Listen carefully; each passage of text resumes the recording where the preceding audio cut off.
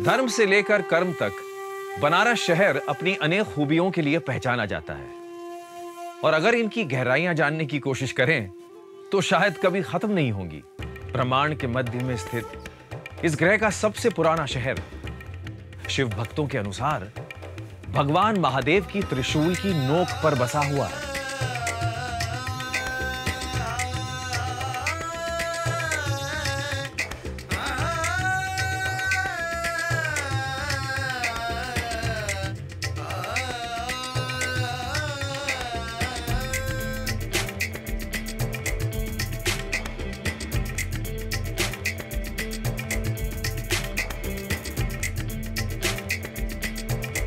आघोरी भगवान भोलेनाथ का रूप होते हैं। आघोरियों के अनुसार मृत्यु और मृत्यु शरीर उत्पत्ति का एक भाग है।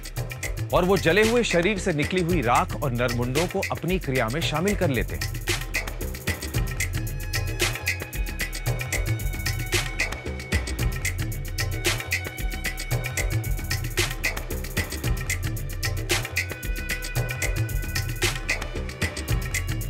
बनारस की अनेक रहस्यमय कहानियों में से एक कहानी आघोरियों की भी है, जो हमें यह सोचने पर मजबूर कर देती है कि दुनिया जैसे दिखती है, वैसे है नहीं। क्या माया का रूप सच में ही इतना रोचक है कि वो हमें सच लगने लगती है?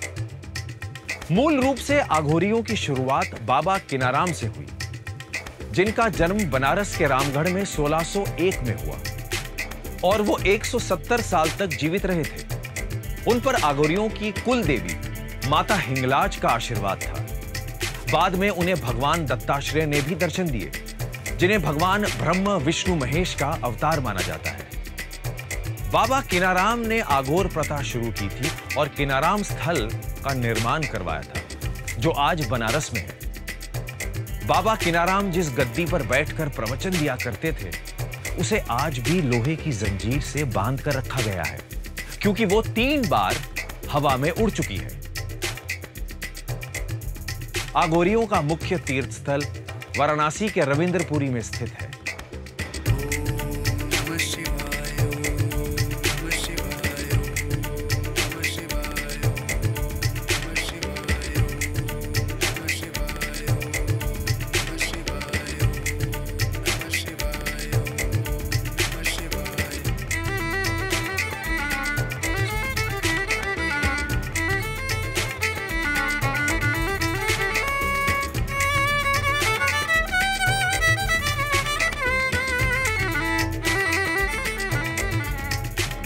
अघोरी अनुयायियों के अनुसार, बाबा सिद्धार्थ गौतम राम जी, बाबा किनाराम के ही अवतार हैं। इसके अलावा, कोई भी शमशान घाट आघोरी अनुयायियों के लिए धार्मिक स्थान है। बाबा किनाराम स्थल पर एक क्रीकुंड भी है। ऐसा माना जाता है कि इसमें स्नान करने से शरीर के सारे रोग दूर हो जाते हैं। इस कुंड का निर्माण 400 वर्ष पहले बाबा किनाराम ने स्वयं करवाया था।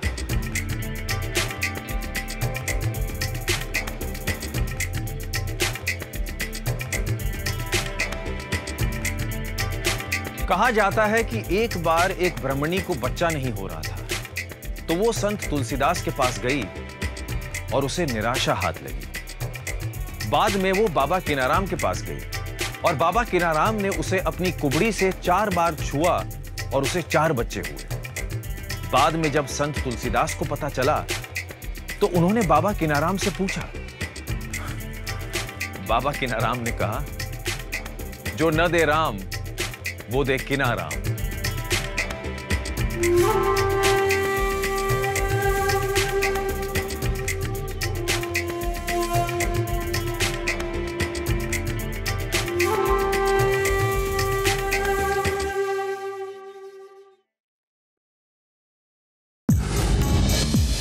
Like, share, subscribe, and click on the bell icon to never miss an update from Epic.